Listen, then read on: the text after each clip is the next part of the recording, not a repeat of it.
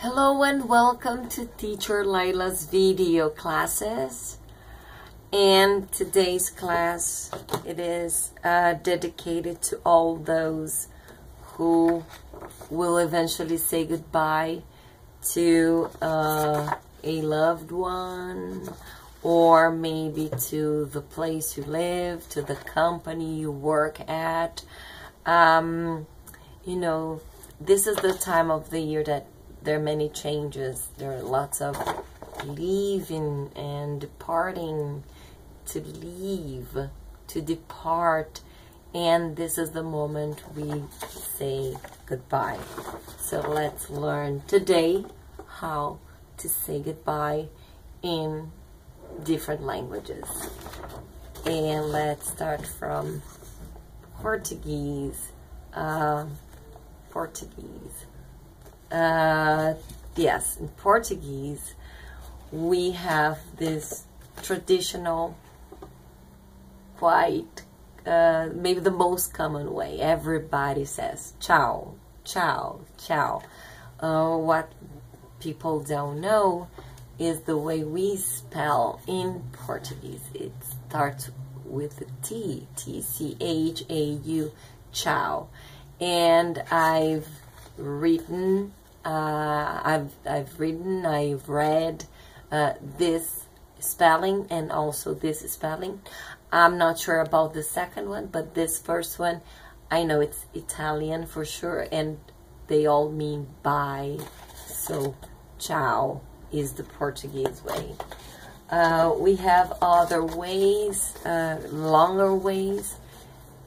Até, até, in, Portu in, in Spanish would be related to hasta, até, até logo, hasta luego, até logo, see you later, or até breve, see you soon, até breve.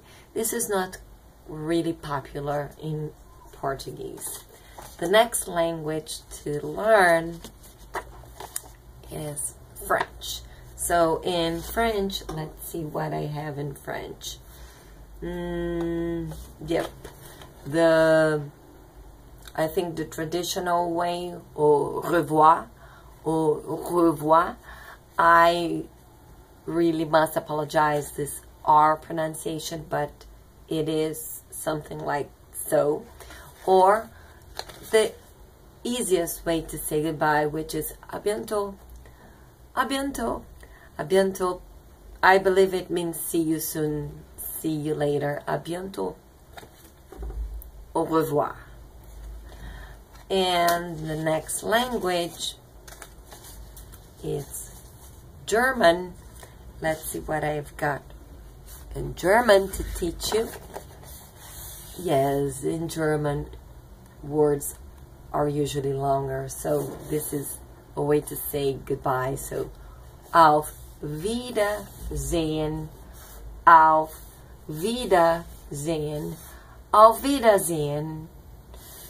Uh, I think it means something like see you uh, again. Or the easiest way, tschüss, tschüss, T, C, H, U, umlaut, Eszett. This represents double S. Tschüss. Auf Wiedersehen. The next language is in Spanish. And in Spanish, let's see what I've got here. Mm, the classical adios, adios, or hasta luego, um, hasta luego, até logo. In Portuguese, we have a similar até logo, hasta luego. Um, but this is the most common way to say in Portuguese, até mais, até mais. But as we are focused on Spanish, hasta otro rato, hasta otro rato. It's another way to say. And the Irish flag, English, and in English, uh, besides goodbye or farewell, goodbye, farewell. We have this long expression. See you later. See you later. Or my favorite ones. Have a good one.